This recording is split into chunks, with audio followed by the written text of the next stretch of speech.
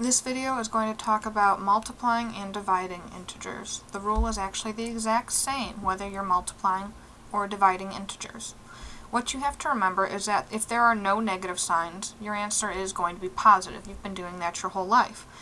If there are two negative signs, one negative sign,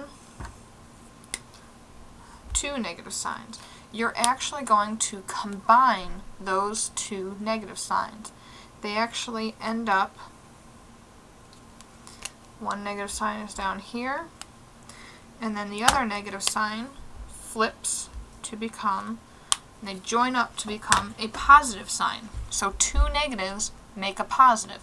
Doesn't work in real life, two wrongs don't make a right, but in integers, two negatives do make a positive. If you have one integer who's all alone and kind of getting lonely, what you do is you give that negative sign to the answer. That way he's got a friend and he'll be happy too.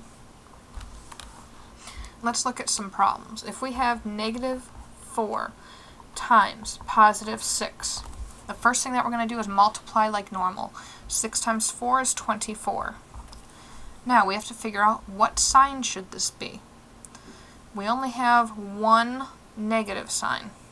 And because we only have one negative sign, what's going to happen is that negative sign is going to go over to the 24. So our answer is going to be negative 24. This doesn't count because it's a positive sign. So it's important to look at the sign, but make sure you're only counting the number of negative signs. Another problem, negative 3 times negative 2. First thing you do is you just multiply like normal. 3 times 2 is 6.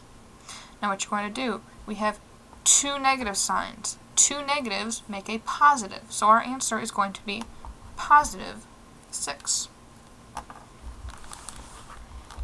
Now let's say that we have a division problem. Let's say that we have positive 9 divided by negative 3. Well, let's do our basic math first. 9 divided by 3 is 3. And then we're going to look at the signs. We have a positive sign, which doesn't count, and a negative sign.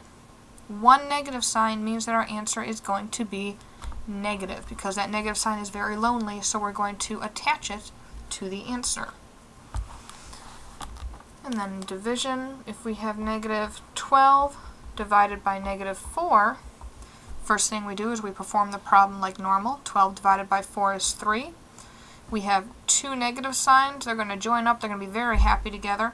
So our answer is going to be positive.